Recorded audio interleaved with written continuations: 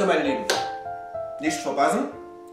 Ab 1. Dezember täglich 8 Uhr früh ein neues Video bis zum 24. Dezember. Und dann schauen wir mal, was dabei rauskommt. Viel Spaß. Tschüss.